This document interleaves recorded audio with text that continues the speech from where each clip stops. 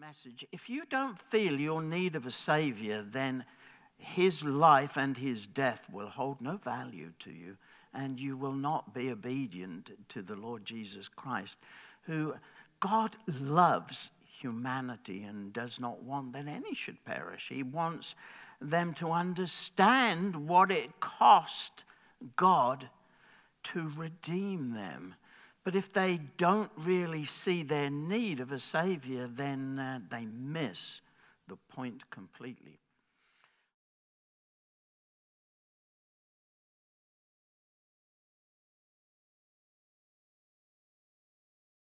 So uh, I hadn't introduced myself yet. My name is Keith Thomas. I'm an ex commercial fisherman from England. And uh, the Lord uh, called me from my nets many years ago and told me he wanted me to work on his nets. So, his gospel net, uh, we're trying to do what we can with the gifts and talents that God has given us. And our goal is to uh, focus on the Lord Jesus Christ and promote his gospel, his good news. Gospel means good news to the world as a whole. So, our title, topic for tonight is Why Did Jesus Have to Die? Uh, that is a good question because many people, I think, uh, they understand that Jesus died, but why did he have to die? So that's our goal for tonight, trying to understand the reason why Jesus had to die. The Apostle Peter had something very interesting to say on the day of Pentecost, that powerful day when the Spirit of God came in power and 3,000 uh, precious people were saved that one day. And he got up and he preached the gospel. And uh, we won't go into the whole words, but there was one sentence in his message where he explained that it was these are the words it says in Acts 2, verse 23. He was delivered, he being the Lord Jesus, he was delivered up by God's set plan and foreknowledge. Did you ever reflect on that? That God's set plan was fixed before humanity even came to be on planet Earth. His foreknowledge planned out the visit of the Redeemer the Lord Jesus Christ who was to come. So, all people need to have this truth of the reason why he had to come. And uh, did you know that there are 320 prophecies in the Old Testament that spoke about the coming of the Lord?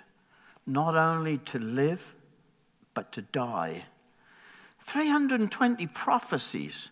That's staggering uh, that he fulfilled in great detail, many that he, as we said last time, uh, that he could not have uh, moved and manipulated them to fulfill them by himself. They were all seen and prepared and planned. God sees everything all at one time. There's nothing that surprises him. He doesn't wake up one morning and say, Oh, I didn't know that. no, he knows everything, sees everyone, he knows every thought that we think, he knows every desire within our hearts, he knows the hairs on our heads, he knows when we sit down and stand up again. He knows everything, he has complete knowledge of all the facts of everyone on earth. So these prophecies spoke of his life and death as the pivotal event in human history. Someone pointed out that history is all his story. And, uh, and as we look back and we look at all the events of history, it's all going to culminate in his coming. But before that, his plan is to redeem as many people that say yes to walking with him and following him in his, uh, in his life, the life that he gives for us.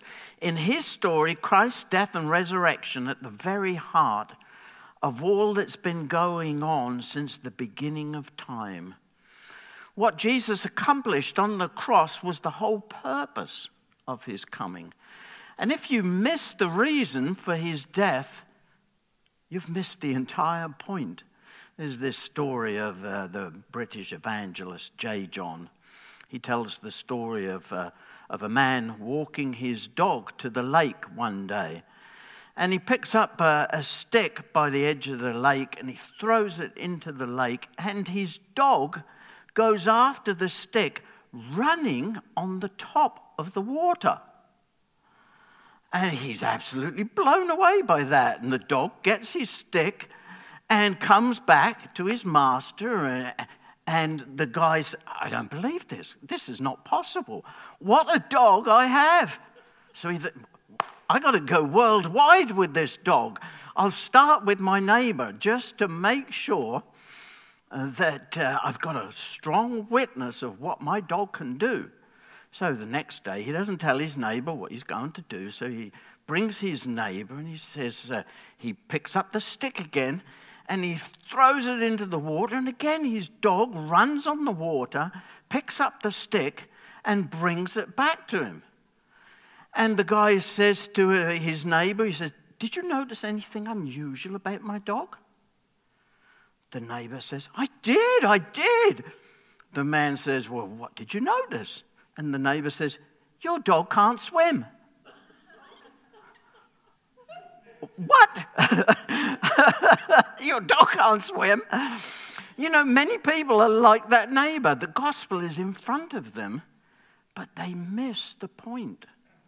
They miss the crux of the story. And if we miss the reason for the cross, then we miss the reason for our hope. Why do people wear a cross? Let's talk about that. I'm sure as you've uh, walked around, you've seen people wearing a cross around their necks. Have you ever stopped to think about why they're wearing a cross?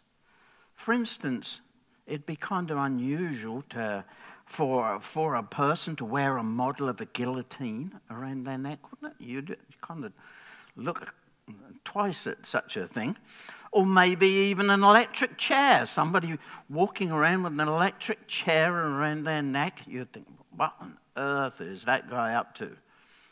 But how often do we come across people with a cross around the neck in the Western world? We don't think anything of it. Many of them don't even believe in Jesus but like to wear a cross. We are so used to seeing the cross around people's necks that we don't even think that the cross is a symbol of torture and, uh, and is one of the cruelest ways of execution ever to be seen on, on the earth. And in fact, the Romans, not known for their human rights, abolished crucifixion in AD 337, considering it too inhumane. Can you believe that? The cross has always been regarded as the symbol of the Christian faith. And a high proportion of the gospel message is all about the death of Christ. Much of the New Testament is concerned about explaining what happened at the cross. In fact, when the Apostle Paul corresponded with the Corinthian church, he wrote these words I resolved to know nothing while I was with you except Jesus Christ and Him crucified. It's quite a statement. I mean, to say Jesus led such an exemplary life, but when Paul is preaching uh, in Corinth, he, he wanted to emphasize more than anything the death of Christ rather than the life of Christ. So it was so important that that was all he wanted to talk about. And when we think of important people that have, that have walked this earth, uh, we think of maybe Winston Churchill, Rosa Parks, Ronald Reagan, Mahatma Gandhi, Martin Luther King. But when we think, we, we think of what they did in their lives and how they influenced society. But uh, when we read the New Testament, quite a large proportion of the Gospels is all focused on the death of Jesus. Why? What is the difference between his death and so many other historical people throughout uh, history? So, unless we see what Jesus' death saved us from, the power of sin and death, we will not understand the significance of the cross. Hmm. So let's understand, first of all, our being alienated from God by what the Bible calls sin. What, what is this sin? We, not so many people use it, that word today. So let's try and understand what sin is, first of all. If you were to ask people whether they'll be okay at the judgment bar of God, most of them would respond yes. And behind that judgment is the thought that they're comparing themselves to other people. And they say, well, compared with this person and that person, yeah, I think I'll be okay. And uh, I remember speaking many years ago to a young man and uh, talked to him about the Lord Jesus. And I, I asked him that question well, when you stand before God, will you be okay? What do you think? What do you think will happen to you when you stand before God and uh, are and brought into judgment? And he said, Well, I'll be okay, he said. I said, Well, why? He said, Well, there was a plane crash near me, and I ran to the plane and I helped them get out. And because of that, I think God will see me okay in the judgment because I did some good work. And uh, when I asked him what he would do about his sin, he flat out to my face said, Well, I've never sinned. And he was deceived into thinking that his moral standing was better than most. And because he judged that his life was better than most, he felt that he would be okay on the day of judgment. He compared his life to others and said that he didn't really feel his need of a Savior. And that's what I want to do in the first part of this message. If you don't feel your need of a Savior, then his life and his death will hold no value to you and you will not be obedient to the Lord Jesus Christ, who God loves humanity and does not want that any should perish. He wants them to understand what it cost God to redeem them. But if they don't really see their need of a Savior, then uh, they miss the point completely. Let's think of our standing before God as represented by a bank account. In this account, we have positives and negatives, payments and withdrawals. The problem is that we are all morally in debt. The standard to attain for our spiritual bank account is for us, for us to go to heaven when we die. The bar is perfection. And we say, well, none of us are perfect. That is the point, brothers and sisters. None of us are perfect. We all have need of a Savior. The Lord Jesus is the standard for us to reach. And none of us have credit in our righteousness bank account. We are all in the negative. So, who can we turn to? We can't turn to someone else that's, that's in debt. They're not going to help us with our righteousness bank account. They're already in debt. In fact, the whole human race is in debt, morally in debt to this holy God whom we must give account to. And our debt in this scenario can be best described as things that we know to be wrong, things that the Ten Commandments show us that we have not done and have committed lies, stealing, pride, the taking of God's name in vain, etc., etc. words and actions we wish we could take back, but it's too late. One sin bars us from heaven, which is a perfect place, and sinners can't attain to a perfect place because we are imperfect. We need an input of divine righteousness into our spiritual bank account. Paul the Apostle talks about it in these words For all have sinned and fall short of the glory of God. The Living Bible puts it a little bit different. Living Bible, for all of us have fallen short uh, of God's of God's standard. The Lord Jesus Christ is the standard. Let's talk of it in this way. Have you ever found it difficult to apologize? We, we all are like that, you know. We all find it difficult to say, I was wrong. I have sinned and please forgive me. Those words are difficult, and it's our human pride that's involved. Uh, very few of us find it easy to say, please accept my apologies. We avoid those words like anything. So, why is it so hard to admit that we have wrong? We have done wrong. We find it hard to admit to God that we've done wrong. And people excuse themselves uh, for their moral failures. They try to avoid it. Well, I've never sinned. But the problem is that all of us have sinned, and there is none that uh, have attained to God's perfect standard of righteousness.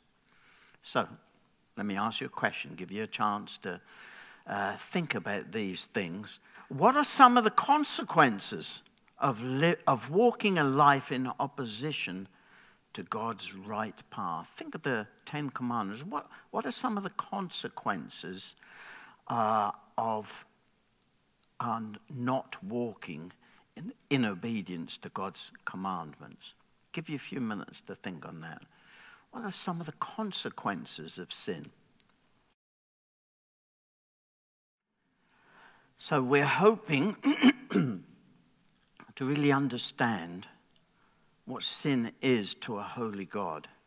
Because the more we can understand how sin offends God, uh, the more we can appreciate what God, the lengths that God has gone to to put us right from our sin. So, what does this scripture say? For all have sinned and fall short of the glory of God. It says that none of us have met the standard. What's the standard? The standard is the glory of God, or li- the Living Bible puts it, God's standard. Uh, all of us have fallen short of God's ideal for living, the Lord, the Lord Jesus Christ. None of us have met the standard of God's righteousness. In fact, the Greek word uh, that's uh, translated into the English word sin is hamartia, and it was an archery term in New Testament times. And, and you, when you fire an arrow at a target, if you fail to hit the bullseye, it was fallen short hamartia, sin. Sin means to fall short of the bullseye. And when we think of the bullseye being the Lord Jesus Christ, uh, we all fall short of that standard, right? None of us are good enough. Good enough. We have all fallen short. And it doesn't matter whether you're better than that person or better than this person uh, we have all fallen short of God's glorious ideal for living the Lord Jesus Christ. Somerset Maugham once said, If I wrote down every thought I have ever thought and every deed I have ever done, men would call me a monster of depravity. The essence of sin is a rebellion against God, Genesis 3, resulting in us being cut off from Him a bit like the prodigal son being separated from his father. Some would say, if we're all in the same boat, how does it matter? Does, does it matter?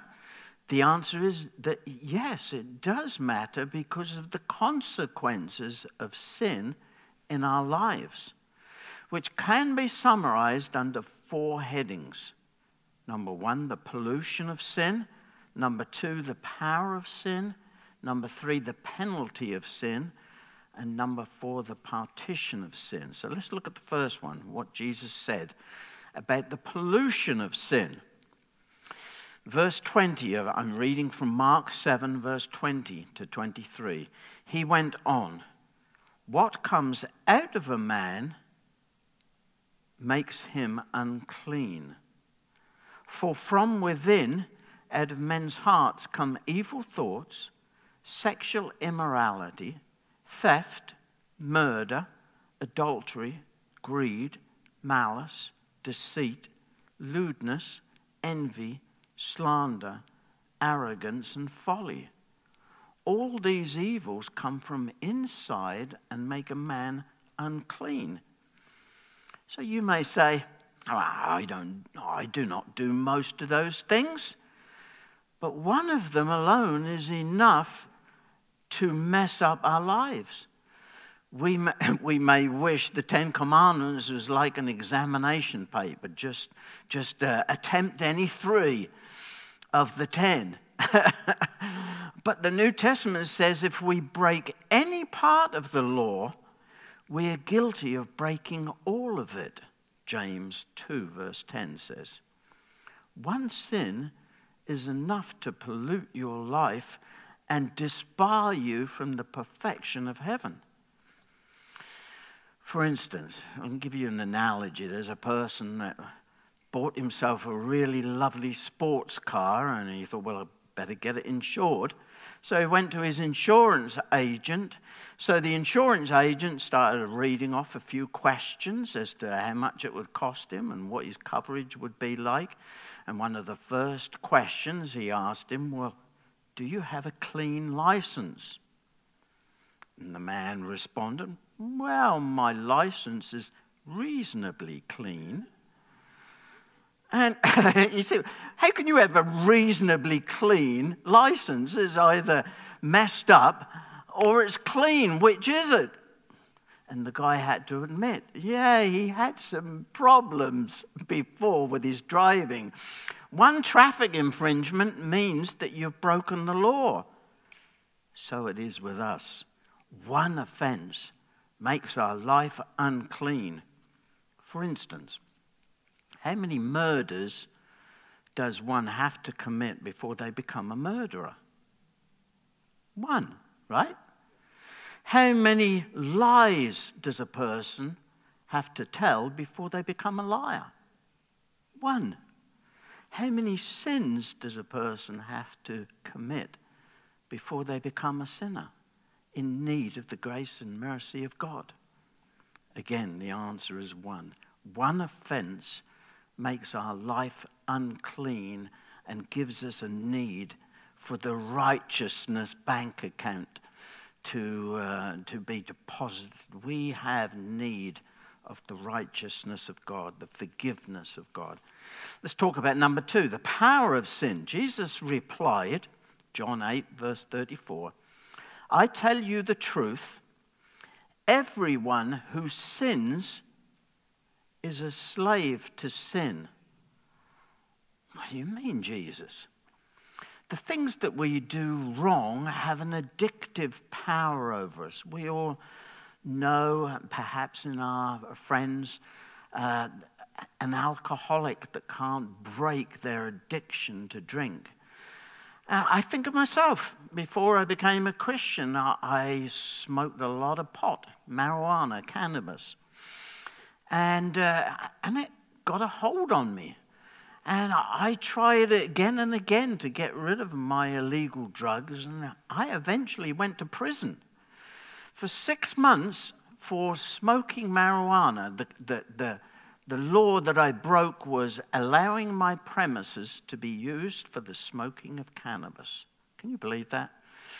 That was a long while ago, obviously, before I met the Lord Jesus Christ and was delivered. But I knew that I was doing wrong. I knew that I was breaking the law. And there were times when I literally could not look at myself in the mirror. I hated being a pot smoker. I didn't want to grow up to be a pot smoker, but it had a hold of me. And I remember taking my marijuana, my cannabis, and throwing it into the sea one day.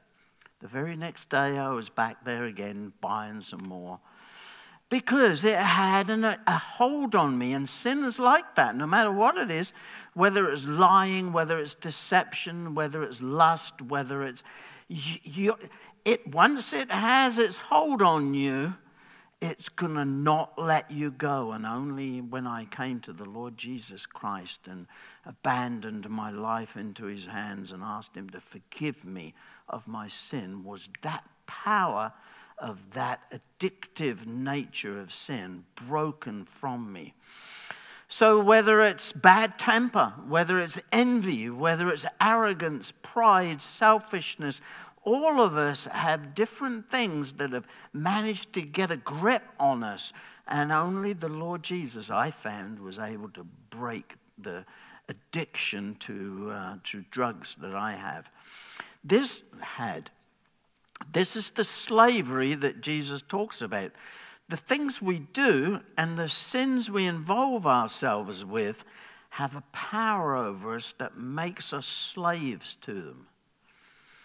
Bishop J.C. Ryle, a former bishop of Liverpool, once wrote these words Each and all sins have crowds of unhappy prisoners bound hand and foot in their chains.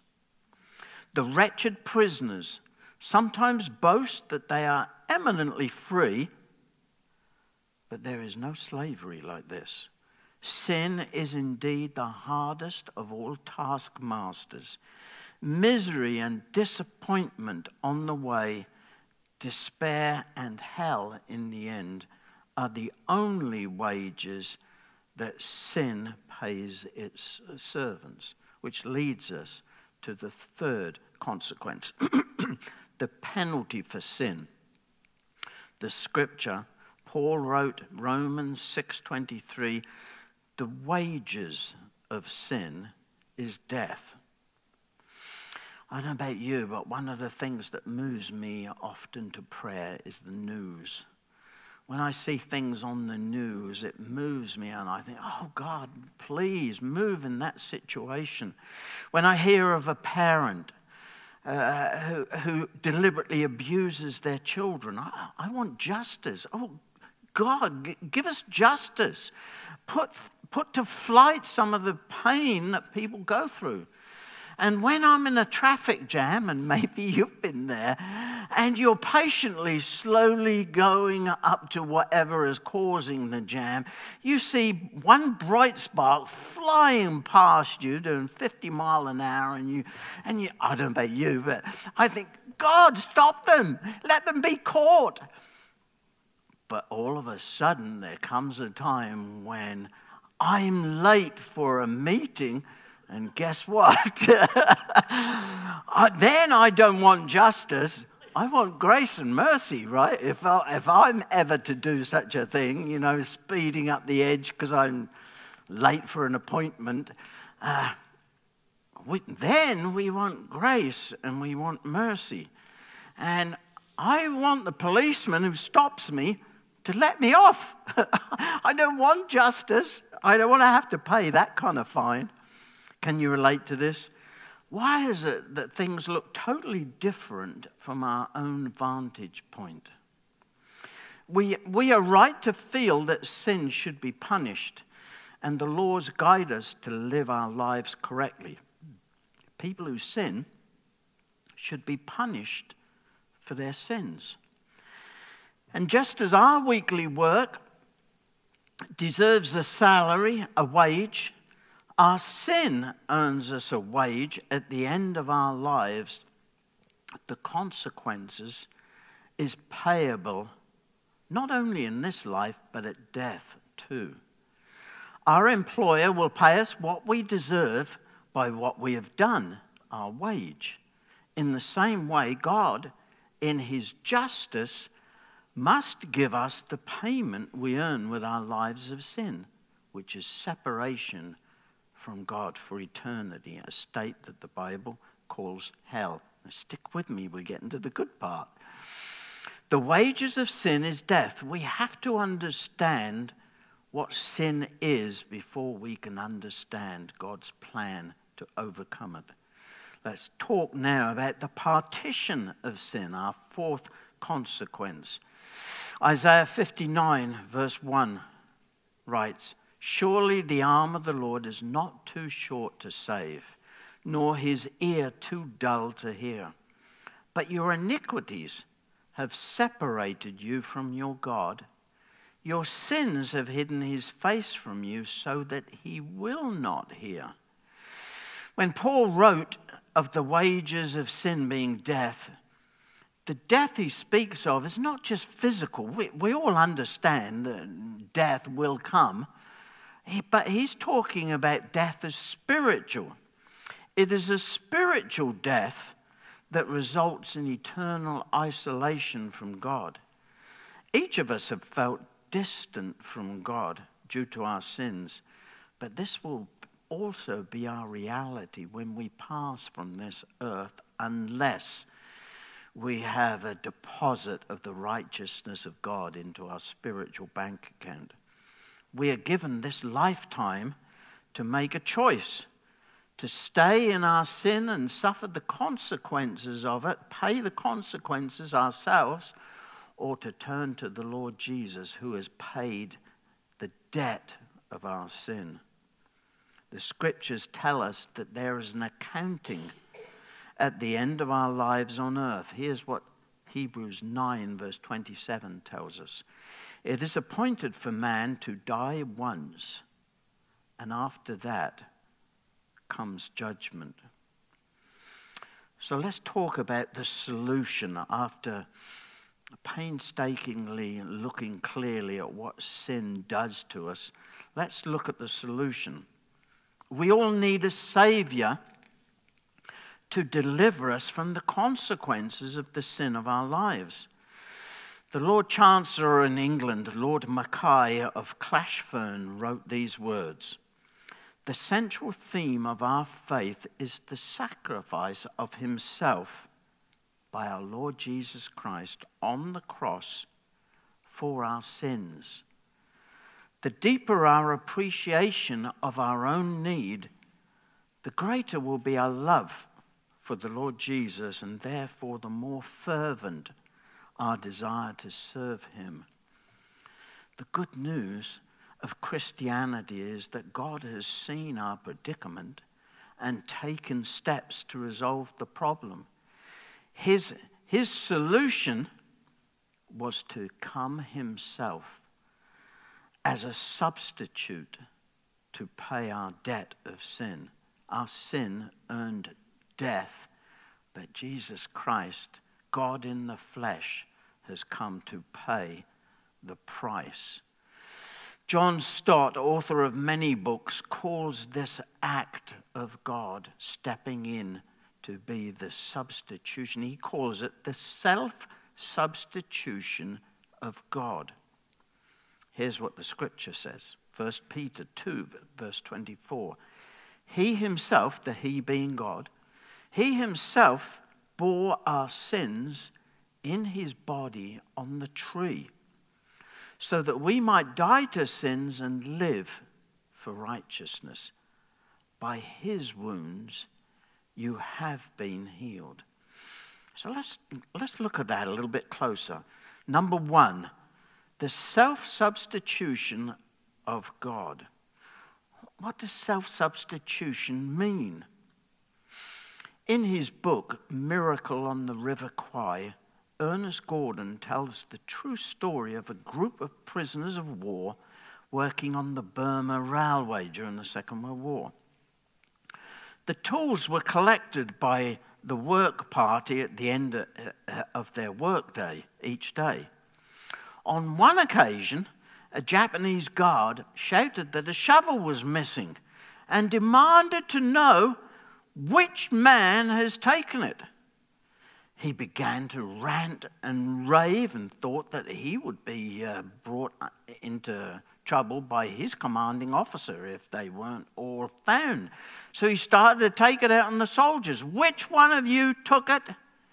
And he was getting caught up into a frenzy. And, and at one point, he pointed his rifle at the, at the, the work party and said, All die, all die. At that moment, one man stepped forward and the guard clubbed him to death with his gun while he stood silently to attention. He just took it all, knowing that he would die for that very thing. When they returned to the camp, the tools were counted again, and no shovel was missing. He miscounted. That man went forward as a substitute for the others. He took the death penalty himself and satisfied justice. He, Jesus, satisfied justice for all of us. All die, all die. Jesus said, No, Father, let, I will go and I will pay the substitution price of death for them. Number two, the agony of the cross. Jesus was our substitute. He endured crucifixion for us. Cicero described crucifixion as the cruelest and hideous of tortures. Jesus was stripped, tied to a whipping post, and flogged with four or five thongs of leather interwoven with sharp, jagged bone that tore his back apart and, uh, and many people, their bones were showing after they had uh, had their way uh, with them. The sufferer's veins, Eusebius, the third, third century church historian, wrote, the sufferer's veins were laid bare, and the very muscles, sinews, and bowels of the victim were open to exposure. He was then taken, the Lord Jesus was then taken to the praetorium, the Roman courtyard inside the fortification, where a crown of thorns was thrust onto his head. He was then mocked by 600 men and hit about the face and head, then forced to carry a heavy crossbar on his bleeding soldiers until he collapsed. Simon of Cyrene was enlisted to carry it for him. When they reached the crucifixion site, he was again stripped naked, laid on the cross, and six inch nails driven into his forearms just above the wrist. His knees were twisted sideways so that the ankles could be nailed between the tibia and the Achilles tendon. He was lifted on the cross, which was then dropped into a socket in the ground. Jesus was left to hang in intense heat, unbearable thirst, exposed to the crowd's ridicule. He hung there in unimaginable pain for six hours, nine o'clock in the morning till three in the afternoon. And while his life slowly drained away, the worst part, though, was not the physical trauma, nor even the emotional pain of being rejected by his people, but the spiritual agony of being separated from the Father for us as he carried our sins. And of course, the last word that he spoke, uh, he shouted victoriously from the cross, It is finished. Tetelestai in the Greek meaning paid in full. It was a victory shout that echoed from the cross. He paid our debt. He gave us a deposit of full and complete righteousness that only God can give. Christ has taken all and more than many of us deserved upon himself. He died as a substitute for us. John 3:16, which we all know very clearly. For God so loved the world, put your own name in there, in, those, in that place of the world. God so loved the world that he gave his one and only Son, that whoever believes in him shall not perish, but have eternal life. The result, let's talk about the result. When Adam and Eve gave in to the serpent in the Garden of Eden, they chose to obey Satan, the serpent, uh, rather than God. God warned them in the garden that the day they ate of the fruit, he warned them about the fruit. And he warned that if they were to eat the fruit, it would mean death. And of course, Adam and Eve, when they uh, ate the fruit, what was the first consequence of eating the fruit? They hid from God. Sin causes alienation from God. And uh, they didn't die right away, death began in them. And of course, Adam lived to over 700 years of age. Can't remember exactly right now. But uh, this separation from God reigned over all humanity from that point. Adam and Eve, their bent of sin came down to each of us. And from that point, Satan legally owned everyone that came into the world and sinned. If there was one sin, legally, he, uh, he, he owned each of us. This separation from God reigned over all humanity, giving Satan the power of death over all humankind. This is why Jesus had to be born of a virgin and remain completely free from sin, so that as an innocent substitute, he could pay the penalty for us. Here's what the scripture says Hebrews 2, verse 14. Since the children have flesh and blood, he too, the Lord Jesus, shared in their humanity so that by his death, don't miss that, so that by his death he might break the power of him who holds the power of death, that is, the devil. The devil had the power of death over all humanity until the cross. Jesus didn't die the death of a martyr, but he made a legal transaction before the courts of heaven.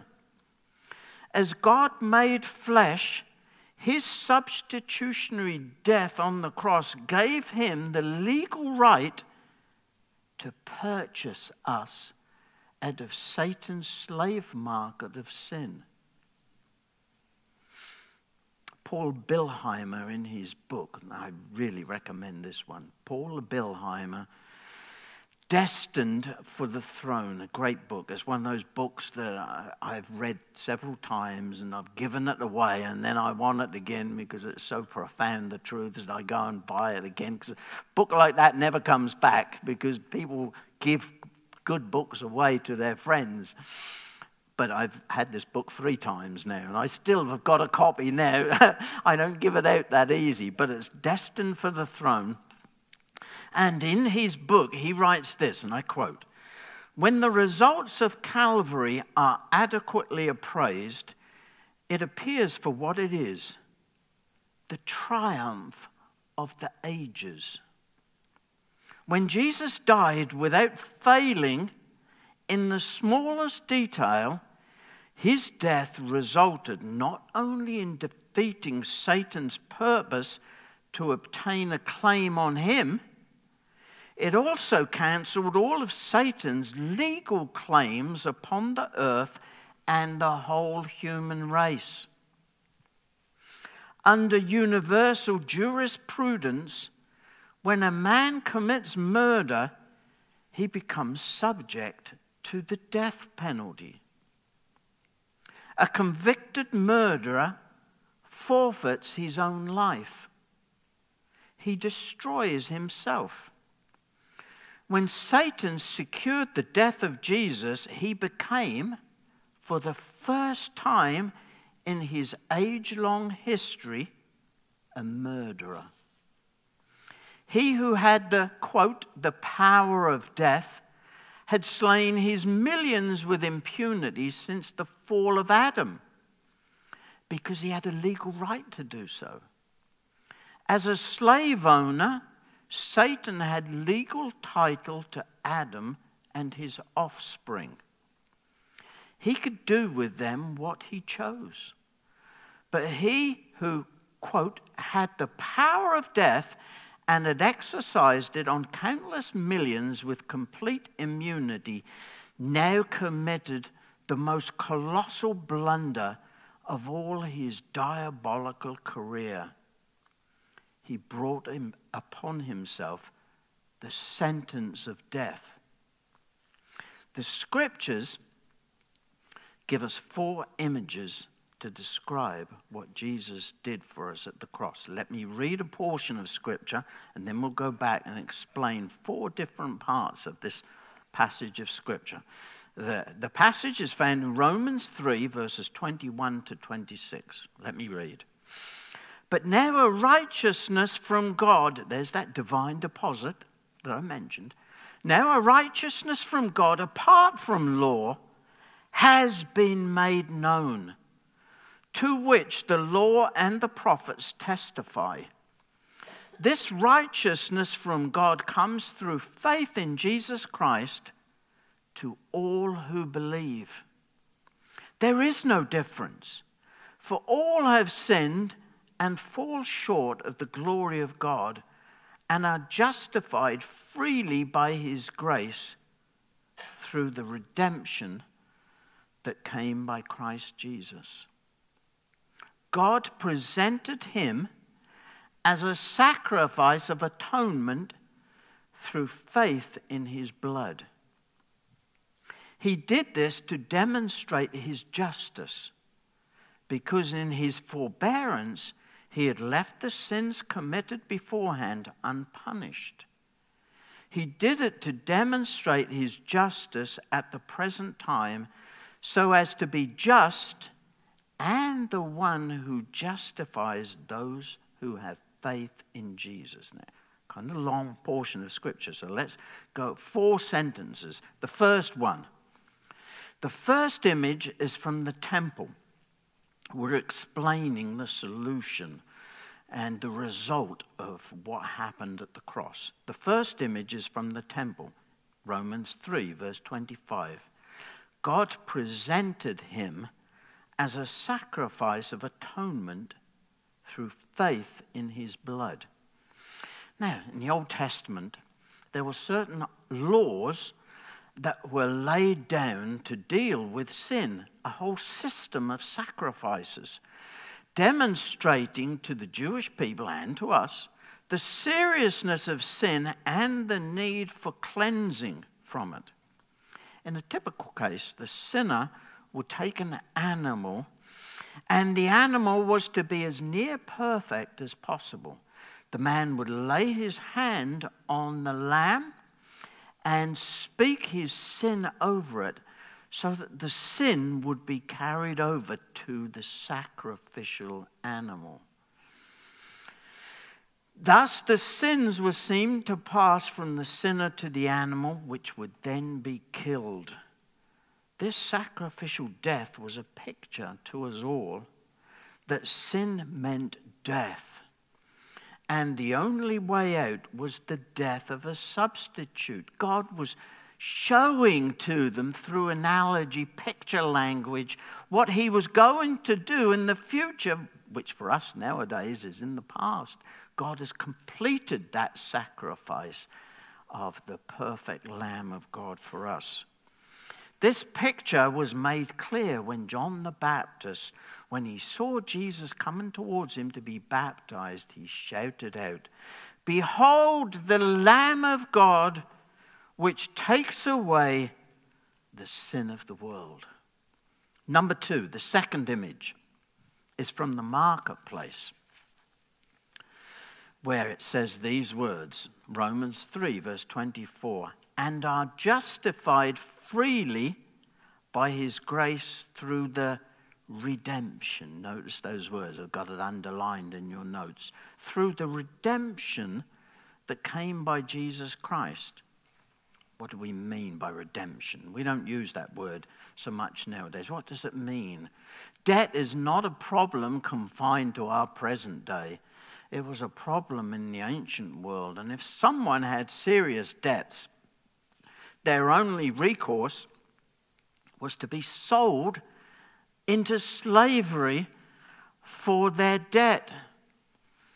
So, suppose a friend went to the market one day there in Jerusalem, just as he was being sold, and he found out the price that his friend was being sold for, and he paid his debt and let him go free, he would be redeeming him. That is what redemption means. To redeem is to buy out of, to buy back. Similarly, Jesus paid the redemption fee to buy us out of Satan's slave market of sin. The third image, let's look at the third image. The third image is from the law court. Paul writes, We are justified freely by his grace. Paul uses the term justified freely. The word justification is a legal term. If you went to court and were acquitted, you were justified. There's the story of two men that went to school and university together and they developed a close friendship. And life went on and they, they separated and went their different ways. One became a judge and one became uh, a thief. And he was caught and brought before the legal system. And when he was brought, brought before the judge, they recognized one another. And the judge recognized him and realized he had to, he, his friend standing in the dock had to pay the price for his sin. He couldn't just, he couldn't just cancel it out. Uh, he had to give him the legally uh, accepted uh, penalty that his friend had deserved. But he recognized him and he, he couldn't let him off. So he told his friend that he would punish him with the correct penalty for the offense. That is justice. Then, coming down from his position as a judge, he took out his checkbook, paid the fine himself. That is love. That is what God has done for us. He couldn't just wink his eye and say, Oh, Keith Thomas, you're not too bad. I'll let you off. No. No, he realized, I realized that I had legally stood before the bar of heaven and I fell short. I needed a deposit of righteousness. And God loved me so much, He came down from His, uh, his judgeship and paid the fine of death that I deserved. In his justice, he judges us because we are guilty, but in his love, he came down in the person of his son and paid the penalty. Now, that illustration is not an exact one for three reasons. First of all, our plight is much worse. The penalty we face is not just a fine, but death. And not just physical death, as I said, but spiritual death. If this goes on and, and justice is not met, and grace is not given, then we face the consequences of our own self, our own sin ourself, which is an eternity apart from God. Secondly, the relationship is closer. This is not just friends, this is our Father in heaven who loves us much more than an earthly parent loves his child. And third, the cost was higher. It cost God not money, not silver and gold, but his own son. Imagine the Father watching Christ hanging on the cross there and meting out full justice upon him as he bore the consequences of our sin upon himself. It is not an innocent third party, but God himself who saves us. Number four. The fourth image is from the home. 2 Corinthians 5:19 says these words that God was reconciling the world to himself in Christ, not counting men's sins against them. Now, I don't know about you, but that gives me such a, such a joy that God, on behalf of Christ, is not counting my sins against me. What happened to the prodigal son can happen to all of us. He wandered off and away from his father, and his father was daily looking out for him. And his son, as soon as his son made, made a decision to go towards his father, you know, it's the, in the parable, uh, his father was there right away, ready to receive him. So, will you accept his free pardon? I ask that of you online. He offers a completely free pardon to us if we will grant, if we will turn to Him, turn from sin, and give our lives to Him. In 1829, a Philadelphia man named George Wilson robbed the U.S. mail service, killing someone in the process. Wilson was arrested and brought to trial, found guilty, and sentenced to be hanged. Some friends intervened on his behalf and finally obtained a pardon for him from President Andrew Jackson. True story. But when he was informed of this, George Wilson refused to accept the pardon. The sheriff was unwilling to enact the sentence, for how could he hang a pardoned man? An appeal was sent to President Jackson. The perplexed president turned to the United States Supreme Court to decide the case. Chief Justice Marshall ruled that a pardon is a piece of paper, the value of which depends on its acceptance by the person implicated.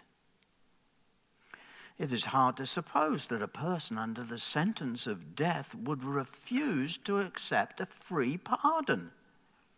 But if it is rejected, it is then not a pardon. George Wilson must be hanged, the Supreme Court ruled. So, George Wilson was executed, even though his pardon lay on the sheriff's desk. I ask you, those of you online, will you accept this free pardon that God offers you? He has paid the complete debt for all of your sins. You can stand before this holy God and be invited into his presence because of what Jesus Christ has done. It requires repentance. Repentance doesn't mean just being sorry for your sin, it means turning and walking God's way, doing, put an end to your transgressions, your sins, and, and, and humility of heart, saying to Him with sincerity, Oh God, forgive me, a sinner. Walk with me, Lord. I, I want to be new. It's not so much about the words you say, but your heart cry and being willing. There has to be a willingness. It's not just words, being willing to say and to walk with Him. So, would you like to do that today? I, I speak to all of you that are listening on the video, today is your opportunity. The God of heaven invites you to come on the basis of this free pardon that he offers you. is up to you today. Would you stand with me? And those of you that uh, agree with God as to your sin today, will you accept the pardon that he offers you? Here's the prayer. Heavenly Father, I am sorry for what I've done wrong in my life. I, I have sinned. I have done what is wrong in your sight, but I'm so thankful, Father, for these good words uh, of how you have intervened in history and paid the full price uh, for my debt of sin that I owe. Oh God, I turn to you today. Would you forgive me my sin? I want to walk an, a, a new life with you. I receive you today, Lord Jesus, into my life. Save me, a sinner. In Jesus' name, amen. God bless you. See you next week where we'll go further on these beginnings and foundations for faith.